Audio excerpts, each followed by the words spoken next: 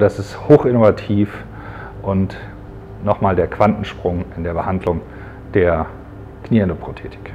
Eine besondere Freude für uns ist auch, dass äh, wir hier in Magdeburg an der Orthopädischen Universitätsklinik in Sachsen-Anhalt den ersten Roboter installieren konnten, der für die Knieendoprothetik benutzt werden kann. Ich äh, bin überzeugt davon, dass äh, die Roboterchirurgie, robotergeschützte Chirurgie, der Weg in die Zukunft ist. Wir setzen ja Roboter in verschiedenen OP-Bereichen hier bereits ein, etwa in der Abdominalchirurgie oder in der Urologie. Und ich freue mich sehr, dass jetzt auch hier in der Orthopädie ein hochmoderner Roboter ähm, installiert ist. Ich bin auch sehr dankbar dafür, dass die Finanzierung ähm, ermöglicht wurde. Ich glaube, dass für die Patientenversorgung es sich hier um einen Meilenstein in der Knieendoprothetik handelt, um die Präzision und die Patientenzufriedenheit zu erhöhen.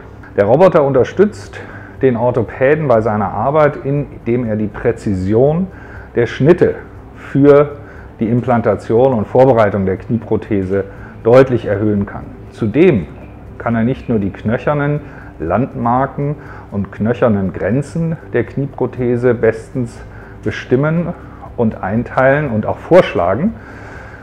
Er kann aber auch vor allem die sogenannte Bandspannung eines Kniegelenkes simulieren und Beinachsen damit besser rekonstruieren. Der Roboter ähm, hat den großen Vorteil, dass wir während der Operation nicht wie sonst nur präoperativ auf zwei Röntgenbildern die Prozedur planen können, sondern intraoperativ bei einer dynamischen Untersuchung des Beines den Roboter noch mit Informationen zusätzlich füttern können und so auch die Knieprothese funktionell an das individuelle Knie angepasst platzieren können.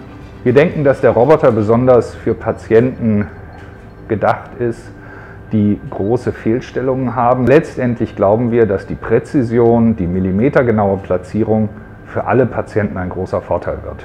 Die Roboterchirurgie ist ja Teil unseres Zukunftskonzeptes für die Unmedizin Magdeburg. Dieses Zukunftskonzept nennt sich PIP. PIP steht für Präzisionsmedizin, Intervention und Prävention. Und äh, diesen Roboter, dieses Rosani-Roboter, den Professor Lohmann gerade eben vorgestellt hat, der erfüllt diese Anforderungen der Präzisionsmedizin und minimalinvasiven Medizin auf hervorragende Art und Weise.